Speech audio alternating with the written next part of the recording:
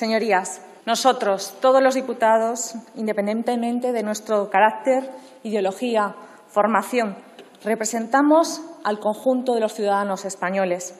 Y nuestro deber es dialogar, debatir, contraponer distintas visiones de la realidad y buscar acuerdos o disensos, pero concediéndonos todos, los unos a los otros, que estamos trasladando a esta sede la opinión de 45 millones de españoles que teniendo ideas y sensibilidades distintas conviven pacíficamente y comparten vidas. Ya se ha dicho aquí, el Parlamento se define por su capacidad de deliberar. Por ello, no parece razonable que cuando el Gobierno promueva iniciativas, mercadee la consecución de votos, haciendo concesiones que nada tienen que ver con las iniciativas, y una vez asegurados esos votos, haga un paripé parlamentario y votemos incluso antes del debate. Dicho esto, todo parece absurdo, y lo es, pero es lo que hemos visto en los últimos meses. Y esto ha llevado a que muchos ciudadanos cuestionen la actividad de los parlamentarios y pierda fuerza una característica esencial del parlamentarismo, el debate y la confrontación de ideas con serenidad y escuchándonos los unos a los otros. De todos podemos aprender. Por eso es muy importante que el Parlamento esté vivo y que cada uno de los 350 diputados podamos aportar nuestra visión y traslademos lo que nos dicen los ciudadanos a esta Cámara. En esta realidad social radica la necesidad de un trabajo presencial en el Parlamento. Por eso mi grupo ha defendido insistentemente que la presencia, el debate, el respeto a las normas, a los plazos, al reglamento y hasta la tradición es esencial en la vida parlamentaria. No obstante, un país puede vivir situaciones extraordinarias como la que estamos viviendo, que necesita de soluciones extraordinarias. Y en este caso existe la posibilidad de dilatar plazos como el pago de los tributos. Pero en esta democracia madura, de lo que no se puede prescindir nunca es del Parlamento. El funcionamiento de todos los poderes constitucionales del Estado, sin excepción, pero especialmente el Congreso de los Diputados, no debe interrumpirse durante los estados de alarma, excepción y de sitio. Desde mi grupo creemos necesario regular la introducción de las nuevas tecnologías en el Parlamento para tener preparadas soluciones que permitan una absoluta normalidad en el funcionamiento parlamentario, incluso en situaciones de excepcionalidad. Ha quedado claro que la iniciativa que se presenta hoy aquí no va en esa dirección.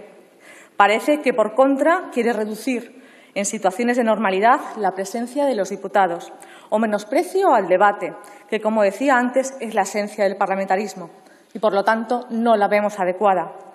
Si esta iniciativa hubiese querido evitar en el futuro lo que hemos vivido estos meses, ausencia de control al Gobierno, suspensión de la iniciativa parlamentaria, votación previa a los debates, sería positiva.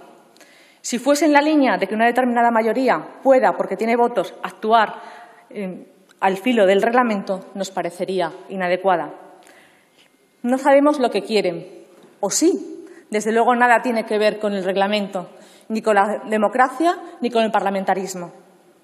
Existe tecnología que hubiera permitido en el estado de alarma que el Parlamento hubiese desempeñado sus funciones de una manera completa. En el Congreso hay profesionales de primer nivel que lo hubieran hecho posible. No ha sido así porque ha existido, y lo digo más, con pena que con crítica, una voluntad de que el Parlamento funcionara al ralentí, sin cumplir sus funciones y trasladando a los ciudadanos que la actuación del Gobierno hacía casi innecesaria la vida parlamentaria. En estos meses, la labor de control del Parlamento al Gobierno se ha visto reducida. Las comisiones, las comparecencias han disminuido, se han suspendido los plazos, las preguntas escritas han sido, las respuestas a nuestras preguntas escritas han sido inexistentes o han llegado fuera de plazo o han sido vagas e insustanciales, muchas de ellas remitiéndonos incluso a ruedas de prensa. Con un estado de alarma, mayor debería haber sido el control por parte del Parlamento al Gobierno. Pero esto no ha ocurrido. Existen mecanismos con las nuevas tecnologías para hacer transparente la labor del Gobierno ante el Parlamento. No se ha hecho porque no ha existido voluntad política de hacerlo. En estos meses no se han debatido apenas iniciativas de los grupos parlamentarios. Incluso algo tan tradicional como son las mociones consecuencia de interpelación, se han suspendido. Las hemos recuperado estos días. Se habían suspendido porque por motivos técnicos no se podía. No era tan difícil. Lo estamos viendo estos días. También estamos recuperando después de varios meses el debate de nuestras PNLs o nuestras proposiciones de ley. Durante esos meses sí que se han aprobado o se han convalidado reales decretos ley. En todos ellos se ha dado al Gobierno para hacer poderes para hacer y deshacer por encima del marco legal normal. ¿Era justificable? Sí, por la excepcionalidad del momento. Pero entonces esos reales decretos ley no deberían haber traído propuestas tan diferentes, que obligaba, sometía a los diputados a la disyuntiva de votar sí, no, abstención a todos los preceptos de manera conjunta.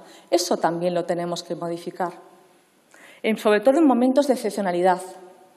Y se puede decir que estos reales decretos ley se están tramitando como proyectos de ley, pero los 350 diputados sabemos que eso es una media verdad cuando se debaten esos mm, decretos ley, de esos mm, proyectos de ley, muchas de esas situaciones reguladas en esos textos ya habrán finalizado. Los plenos en el estado de alarma se deben celebrar con normalidad y, si no es posible por razones físicas o por recomendaciones sanitarias o de seguridad, busquemos fórmulas que garanticen la presencialidad o la semipresencialidad que nos exige la Constitución. Y además debemos valorar y distinguir las reuniones de los órganos de dirección de las de los órganos funcionales, como las comisiones y los plenos, algo que la iniciativa que nos han presentado aquí tampoco distingue. Debemos aprobar una nueva regulación del voto telemático. Debemos abordar una mejora de los sistemas técnicos para abordar situaciones de excepcionalidad, sin que además no se dejen de lado las medidas de confianza del voto, que no son nada aconsejables, pero así ha ocurrido estos meses. Debemos contar con la tecnología adecuada, pero no es suficiente. Es preciso una decisión institucional para que su utilización sea adecuada y se respeten las garantías parlamentarias.